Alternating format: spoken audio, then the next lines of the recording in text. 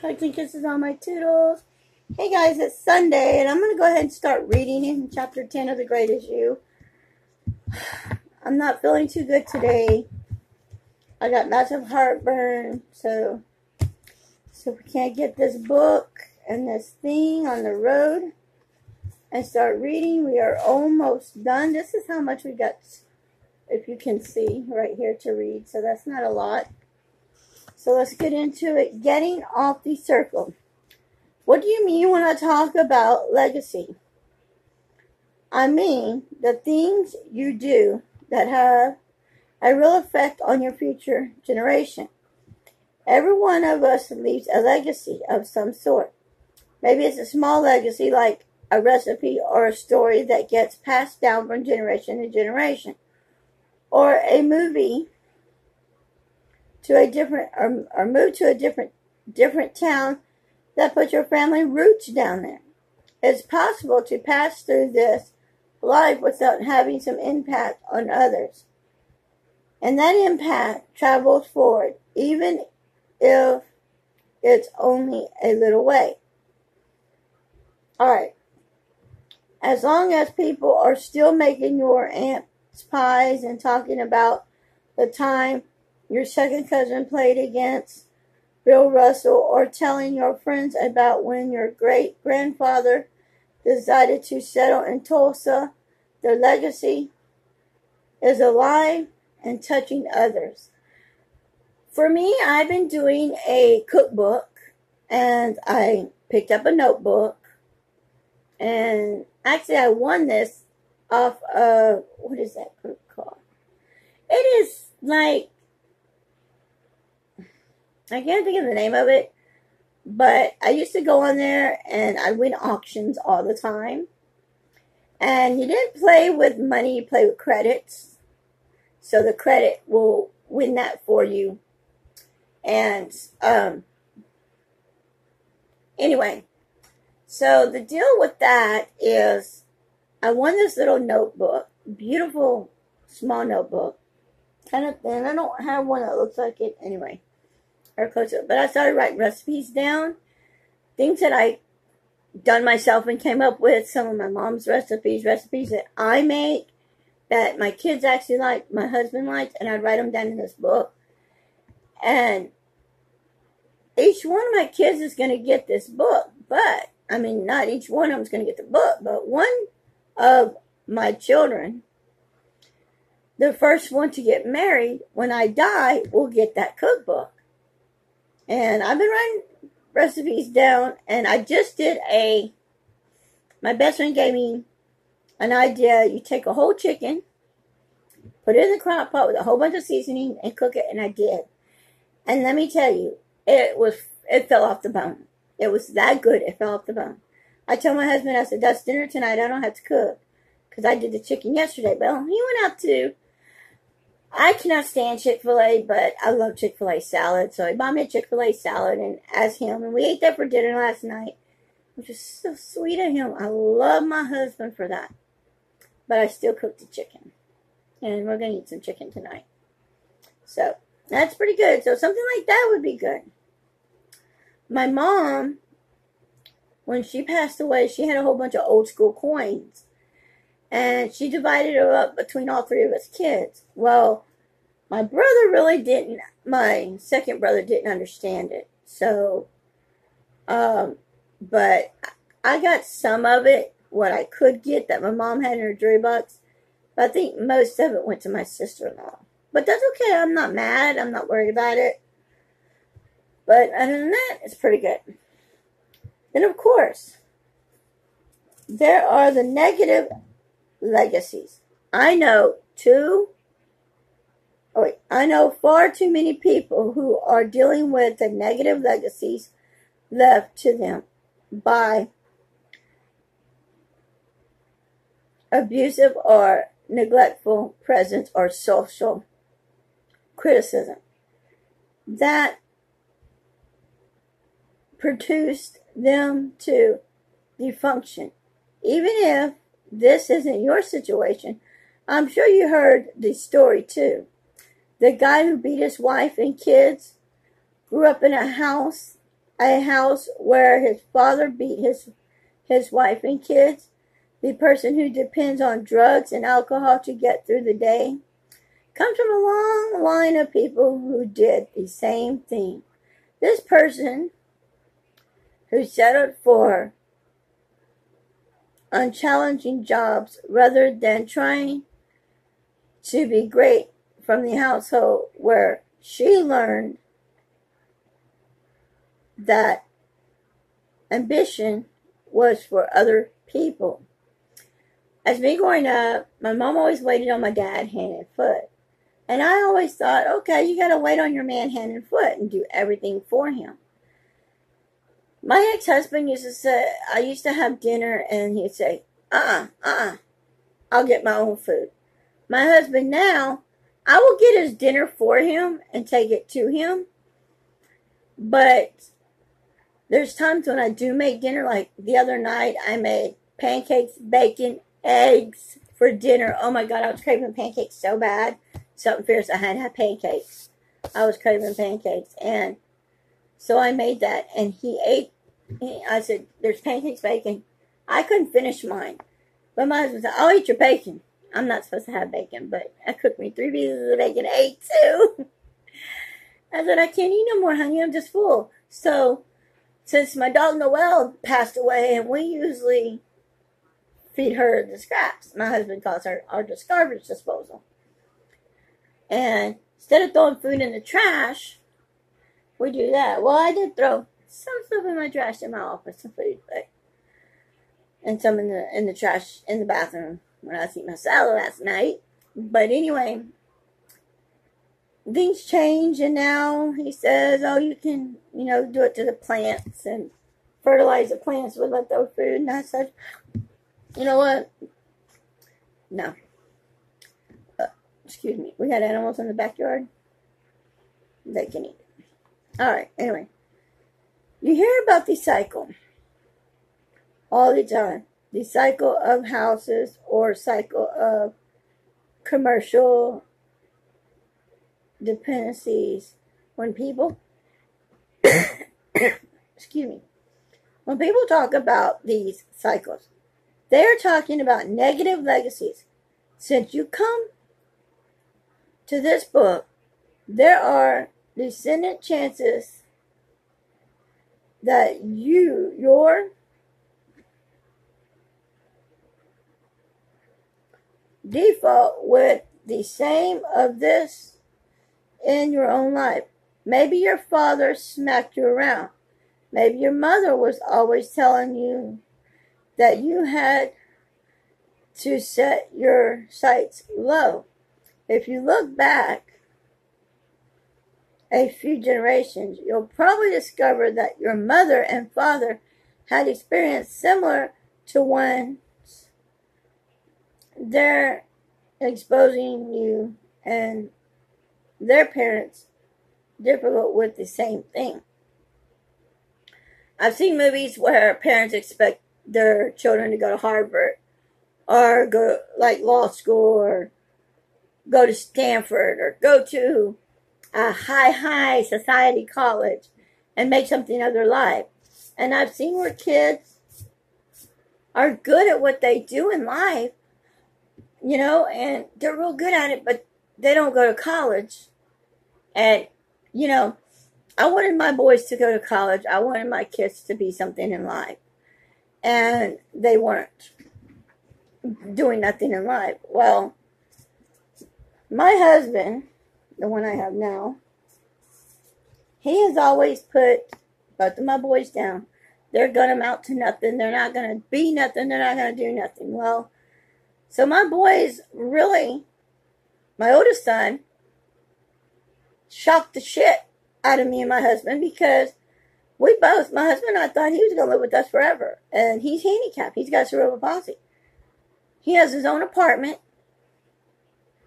And he lives in Arizona. He lives in Safford, Arizona. Has his own apartment, has his own money, doing good.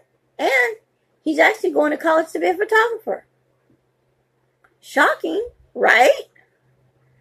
My second son, he has well, we didn't think he was going to, my, my husband thought he was going to live forever and be a couch potato and go from, you know, place to place to place and sleep. He lives in Huntsville. He's got his own apartment. He's a manager at Wendy's. And he's a manager at Jack and a Crack. Oh, it's Jack in the Box, but we call it Jack and a Crack. and he's doing good. And he's got more money in his bank account than I've got in my bank account. And I'm proud of my boys. And I look at him one day and I said, Hello, excuse me. What did you say about my boys? That's what I thought. Look at your daughter. No job. Her friends are more important than work. She's a freeloading off of her boyfriend's family. He doesn't have a job. She don't have a job. But they want the land that you're buying from your brother and they can't even afford anything themselves. And my husband told me last night, he says, Well, I was talking to him about it. I said, You need to talk to your daughter and say, if they want that land, you're not going to buy it. You're not going to get it put in your name. You'll buy the land, but you're going to have it put in your daughter's name. And she has to pay the taxes. And anything that goes on there, she has to deal with that. Not us, her. Make her learn responsibilities because she hasn't yet. Yes, I know my son, my youngest son did drugs. He's a pothead. So is my stepdaughter. She's a pothead. I hate drugs. And I think anybody who does drugs or anybody that sells drugs should actually go to prison for life. Or at least for a year. Prison for a year. Maybe they'll get make them realize the more you do drugs, the more jail time you get or prison time. But is it going to happen? I don't know. Only person that can make that happen is Donald Trump. Peace, Donald Trump. We love you. But about how much of effort does negative legacies have on you? How much have you been held down by them? How hard have you had to fight to overcome them? Then ask yourself this question Why would you ever want to impose on someone else? Okay, my ex husband told me, I don't love you no more. I want a divorce, blah, blah, blah. I wanted to get rid of you five years ago. I'm tired of your BS. You're, you're, you're, you're holding me back. You're holding me down. He was saying negative things about me. But he did say some positive things about me as well. He says, Don't worry, honey. When I leave, you'll have your new man in a heartbeat. You're a gorgeous woman. What man wouldn't want to be with you? You got a big heart. You're loving. You do have a smart ass attitude. But you'll be good in life with somebody else. We're just not meant to be. Okay. Just like in in junior high, I had a crush on a boy. And he came to me one day and he knows who he is. And if he ever watches my videos, I'm not going to mention no names. He told me we were better off as friends than lovers, and he told me he, I'm like a sister to him. Oh well, and life goes on. Why would you ever want that to be a legacy? A big part of the work we've been doing in this book has been about coming to terms with the legacy. You've been left. You can make the concision directions have those negative legacies ended with you. If you've left any negative, you know, I, I know I always said, oh, Bree's not going to make it to be anything uh, we both think she's going to be going from place to place and staying. She wants to get married to the boy she's with on her 20th birthday. I don't think, you know, I don't think she's going to get married. I mean, she might fool me. But there's things, you know, you just don't think. And it's like, you know, she, she wanted me and her dad to get split up so bad. She didn't want us together after a while. She tried everything in her in her willpower to get me and her dad to get a divorce and her dad to leave me. She told her dad there was a man in the bedroom. He was a little chunky, he had bald hair, and stuff like that. And come to find out, it was my brother over. And when my husband said, Does he got shaved head and he's kind of chunky? You said, It's about yay tall. She goes, Yeah. Oh, well, did you go say hi to your uncle? She got pissed off. And every time, she even, her dad was with a friend, his best friend, and they were up there at the lots. And she called him and said, Dad, I was at mom's. Mom got arrested. I had to come back to the house. Christina's got a man in the bedroom in bed and she's having sex with him. They're doing shit. Well, my husband knew it was a lie. He said, Oh, really? And does he sound like this? Because I can hear his voice. And so she put he put the phone up to his friend David, and does it sound like this? What? And it was David, a friend of ours, David. I was on the other line with David, and that pissed her off because she could not get what she wanted. And she has stopped now, and she knows it's never going to happen. Legacies are a lot like relaying races. Sometimes the people run the face before race. Sometimes people run the race before you will leave you in a great position to win. As for my stepdaughter, she'll sit there. Instead of cleaning her room and looking for what she says is missing, Dad, I know Christina's been in my room. She took this, this, and this, la, la, la, la, la, la, and she has it. And I know if you see it, get it. And so my husband says, Well, if you clean that room, you'll probably find it. And numerous of times she has cleaned that room and she has found exactly, exactly what she is looking for. Amazing. But did she ever apologize to me? Hmm. No. There's a really good chance that this is where you were when the vision was passed to you in your life. Now you have a handful of choices. You can jog the race out, deciding that you're too far behind to even catch up.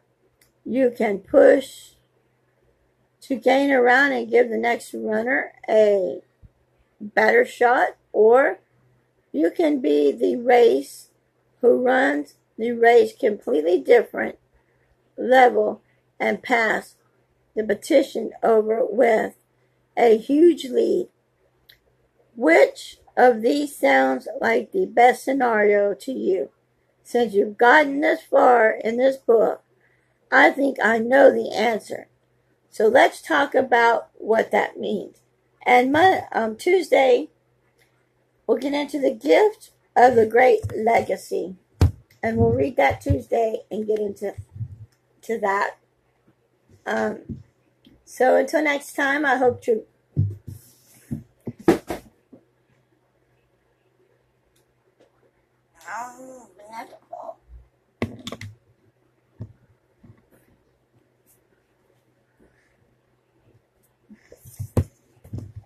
That's till next time. And I hope you like this video. Don't forget to subscribe and hit that notification bell to be notified of any videos. Like, comment, and subscribe. Until next time. Bye, guys.